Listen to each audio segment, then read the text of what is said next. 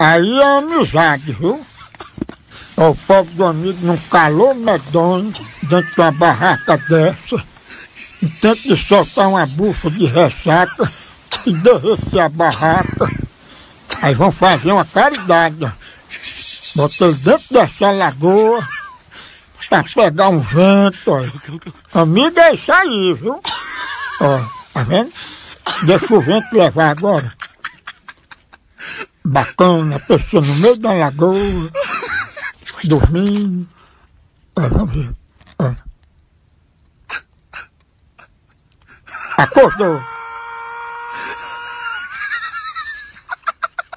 You doing Tá tão feliz, né?